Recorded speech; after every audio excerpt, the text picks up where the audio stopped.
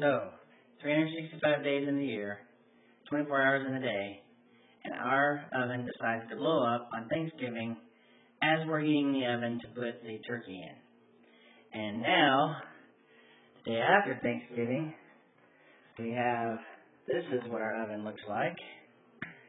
And this, luckily, is a GE replacement part element that's going to go in that oven. It's going to go back in there. So, happy Thanksgiving.